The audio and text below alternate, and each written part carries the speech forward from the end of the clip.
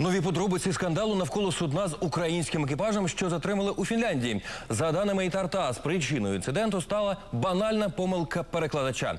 Він у декларації слово ракети зазначив як піротехніка. Насправді ж суховантаж Тор Ліберті перевозив 69 американських ракет класу Патріот і півтори сотні тонн вибухівки. Зараз все це вивезли на сушу, і судно не може рушити далі, поки не владнається ситуація. Нагадаю, 11 моряків на борту, включно з капітаном і старпомом, українці. Звинувачень їм не висували, але ретельно допитали.